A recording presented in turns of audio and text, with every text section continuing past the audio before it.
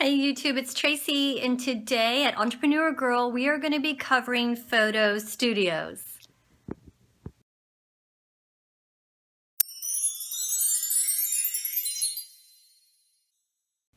When you walk in my office you see here in the corner I have set up my photo studio and I use this setup for all of my eBay, Shutterfly, Shutterstock, photography needs, Really, I have used it for so many things, not just eBay. But most of you are probably wondering how to take photos for eBay and Amazon, and that is what we're going to be covering today. So I'm going to show you how to put this together.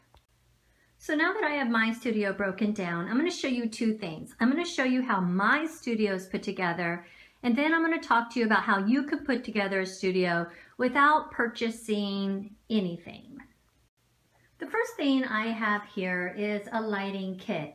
And I bought this on Amazon and I will put a link below, but it came with these three lights. One, two, three. And the little one is the front light and that creates no shadows from the front. And then the two big lights, you can arrange them up or down. Has a light in the rear that you can turn off and like I said, you can move this up or down. The white goes towards the object because what's happening is you're diffusing the light bulb here. So it's not a harsh light, it's a nice soft light without any shadows onto your object. So that is the first thing, that's the lighting kit. The second thing I have is the photo studio. And I bought this also on Amazon. And these are backdrops. And these fit on the metal rod that then fits onto another metal rod. All of these metal pieces and blankets go into a carrying case so you can carry it with you. And the blankets or the backdrops come in black and white. So I have both black and both white. I have to tell you I've used both um, and I like the white better. Okay, so that's the second item I have. The third item you can see here are just something hard, some kind of table. These are actually two ends to a desk. I removed the big long desktop and pushed them together. So I used what I had. And that is what I would suggest you doing. Any hard surface works. It's actually better if you don't have this gap, you know, so you don't have anything that falls. This is just wide because I was moving around today. But that is what I have underneath. This table is just a prop I found at a garage sale and I'll show you why I use that here shortly. So that is really only three items. Photography backdrop, lights, and something to set it all on. Those are the three items you need.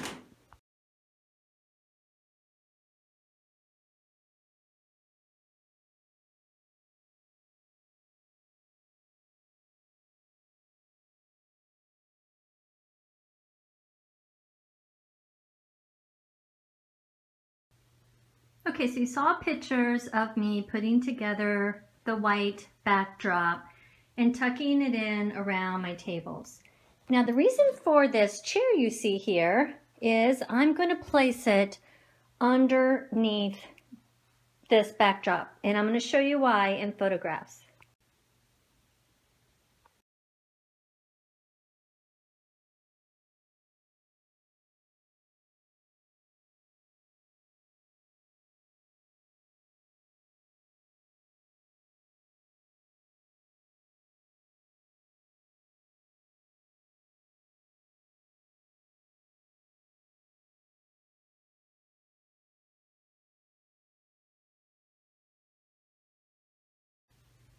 So as you can see in this video, I have my little stool set up under my backdrop.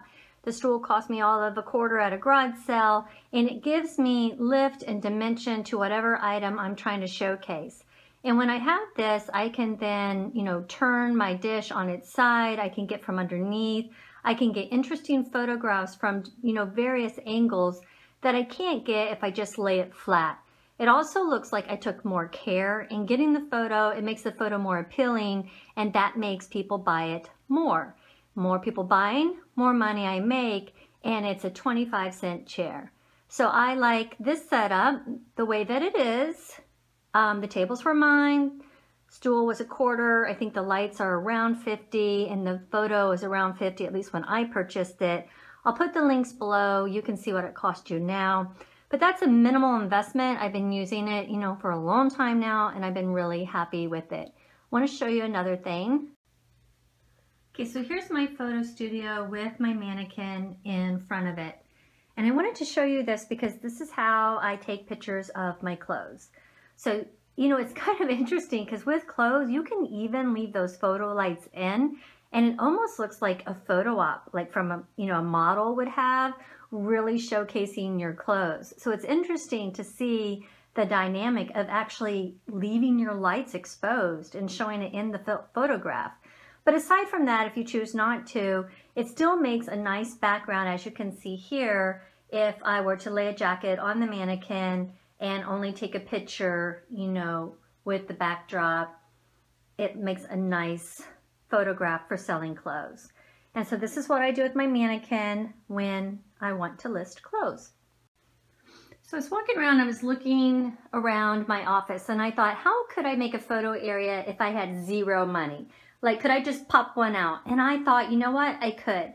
See this window and it has just a spring rod in it and see that it's actually a pink lace curtain, but I have white ones around or I could use the pink. If I untied this and then tucked it into the windowsill and laid it flat, I would have a three-dimensional area to take pictures out of. I'm using the sill as my flat bottom. This would be, you know, on the back of the window, folded around. And then I could swing this existing lamp that I have over it, like so. And I have a lot of natural light because it's a window.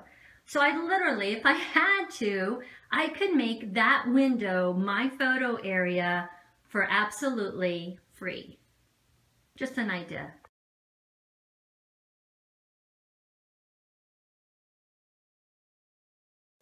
Okay, so let's say you don't have any money at all to spend on a photo studio. Why is an idea something that you can do?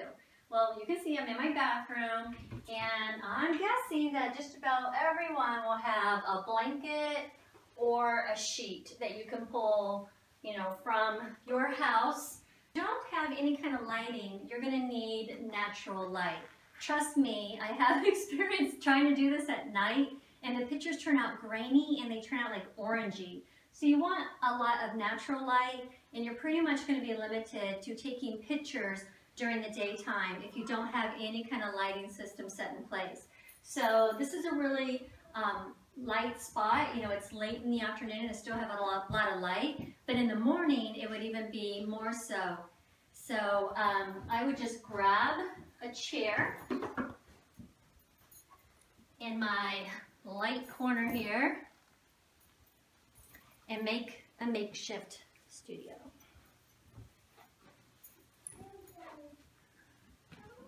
So you just take your sheet or your blanket, put it over any surface. You can use two cardboard boxes. You can use a table. You can use anything that you want. okay, so I make my makeshift studio. And then I can put my book like so. So if you come on down here, you can see what a photo would look like if I were to lean down and take a picture, zoomed in a little bit. Yep, just like that.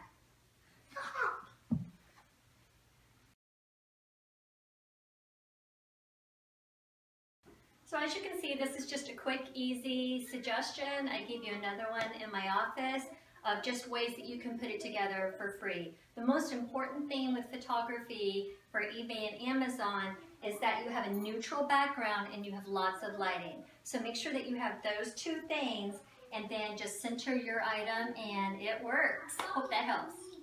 Okay, so you've seen my photo studio and you're probably wondering what are you supposed to do if you don't have any money, if you don't have $100 to put towards a photo studio.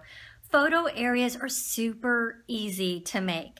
When I first started, I didn't have that. I went to Walmart and I bought two $12 lamps, floor lamps, that I put up and they, they looked like the old photography lights. So I could direct where the light went and it was harsh light because, you know, it was the directness of a light bulb, but it worked fine when I first started. Use a white sheet, put it over any kind of like shower curtain rod, put it on top of any type of tabletop, desk. It doesn't matter how ratty it is, as long as it's a solid surface underneath, you can literally buy two $12 lights. And so you will have a $30 max investment only if you don't have the stuff at home. So it really is easy to, to create a photo area. And people make it more complex than it is. It's really not that hard. The whole point is that you do it because your photos will look so much better if you have an established area to take them in. All your equipment is there. You put it down. You kind of get a groove, you know, with your listings. You put it down, you take photos, you list. You put it down, you take photos, you list. And the photos look good. They look professional. And it literally could be part of your bathroom. No one needs to know that, you know, when they're buying on eBay. All they see is the pretty white background. So I would encourage you to have a photo area designated if you don't have one already. Hope that was helpful. If you haven't subscribed, please do and hit the like button. Bye guys.